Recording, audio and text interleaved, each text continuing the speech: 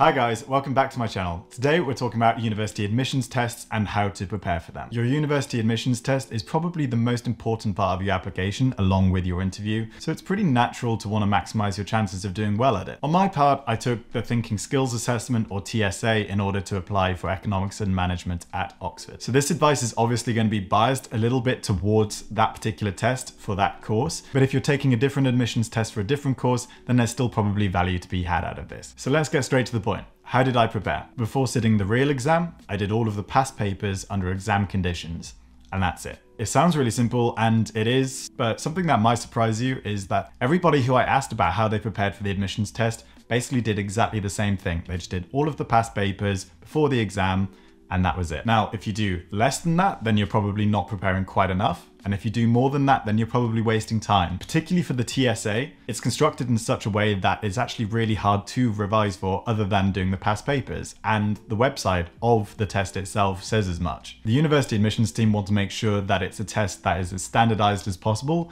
so that people can't have an unfair advantage if they have certain tips and tricks to help them do better than others. We have a tendency to over intellectualize how to prepare for exams like this, and there's quite a few tutors and courses who will offer and charge quite a lot of money in order to prepare for tests like this. But really, you're at no disadvantage compared to anybody else if you just do that simple step. Do all of them, don't do just one.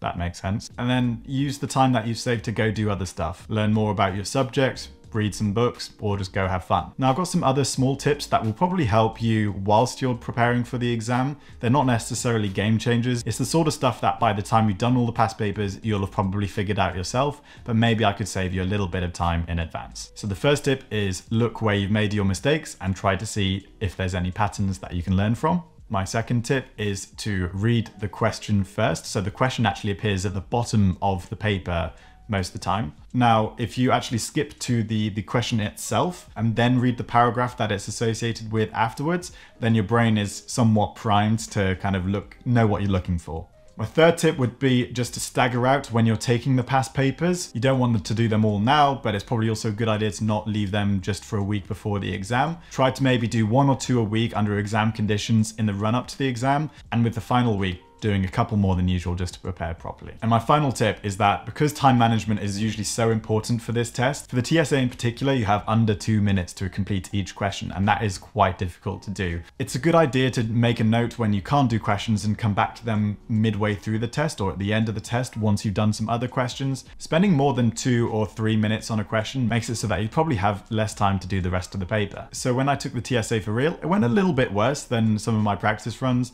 but overall the preparation that I'd done via those past papers definitely helped me to, to keep on the straight and narrow. I ran out of time a little bit, and that was a really common theme for that year's paper, but it seems it was obviously enough to get onto the course. If that was helpful for you, please like and subscribe to the channel. It really helps me out, and thank you very much. Adios.